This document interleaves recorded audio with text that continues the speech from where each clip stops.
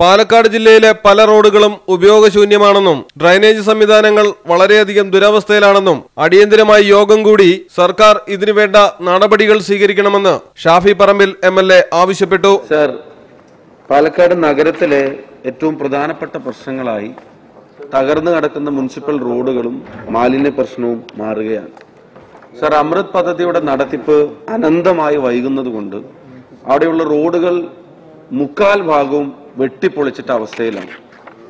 ഈ മഴക്കാലവും അതുപോലെ തന്നെ കോവിഡിന്റെ പ്രയാസങ്ങളും പകരുന്ന രോഗങ്ങളും എല്ലാ ബുദ്ധിമുട്ടുകളും ഈ റോഡും ഡ്രെയിനും ഒക്കെയായി കണക്ട് ചെയ്തിട്ട് ജനങ്ങൾക്ക് ഉണ്ടാവുകയാണ്. സർ വാട്ടർ അതോറിറ്റിയുടെ പ്രവർത്തനങ്ങൾ വൈകുന്നു എന്നൊരു കാരണം പറയുന്നുണ്ട്. അത് അത് പൂർത്തിയായ സ്ഥലങ്ങളിൽ പോലും വേണ്ടത്ര വേഗത്തിൽ ഈ റോഡിന്റെ റീസ്റ്റോറേഷൻ നടക്കുന്നില്ല. സാർ ഇപ്പോൾ വർഷങ്ങളായി ഉദാഹരണത്തിന് സാർ മണൽമന്ത മാട്ടുമന്ത റോഡ്. വർഷങ്ങളായി ആ റോഡ് ദയനീയമായ അവസ്ഥയിലാണ്. ഒരുപാട് ആളുകൾ ഡിപ്പെൻഡ് ചെയ്യുന്ന അതുപോലെ തന്നെയുള്ള ഒത്തിരി റോഡുകൾ ഇതുപോലെ പൂർണമായും തകർന്ന് തരിപ്പണമായി കിടക്കുകയാണ്.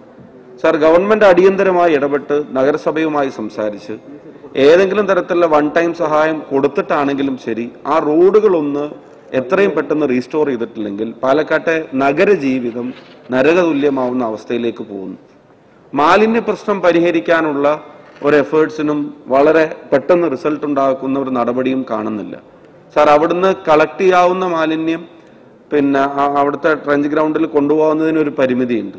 അതിനെ സംബന്ധിച്ചുള്ള തീരുമാനങ്ങൾ ഉണ്ടാവുന്നില്ല. സാർ നഗരത്തിന്റെ പല സ്ഥലങ്ങളിലും മാലിന്യം കുമിഞ്ഞുകൂടി അത് ദുർഗന്ധം വമിച്ച് രോഗം പടരാൻ കാരണമാവുന്ന തരത്തിലേക്കൊക്കെ മാറുക. ജനപ്രതിനിധി എന്ന നിലക്കും പൊതുപ്രവർത്തകർ എന്ന നിലക്കും ഒക്കെ ഞങ്ങൾക്കൊക്കെ വലിയ പ്രയാസം ഉണ്ടാവുന്ന അവസ്ഥയാണ് ഈ നഗരത്തിൽ ഇപ്പോൾ ഉണ്ടായിക്കൊണ്ടിരിക്കുന്നത്.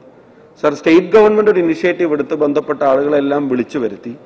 അതിനകത്ത് ഈ റോഡുകളുടെ റിസ്റ്റോറേഷന് വേണ്ടിയാണെങ്കിലും അമൃത് പദ്ധതിയുടെ പദ്ധതികൾ പ്രൊജക്ടുകൾ ടൈംലി കംപ്ലീറ്റ് ചെയ്യുന്നതിന് വേണ്ടിയാണെങ്കിലും മാലിന്യ പ്രശ്നം ശാശ്വതമായി പരിഹരിക്കാൻ കഴിയാവുന്ന സർക്കാർ അംഗീകൃത ഏജൻസികളും പ്രൊജക്ടുകളും നടപ്പിലാക്കുന്നതിന് വേണ്ടിയാണെങ്കിലും അടിയന്തര ഇടപെടൽ നടത്തണമെന്ന് വിനീതമായിട്ട് അഭ്യർത്ഥിക്കുകയാണ്.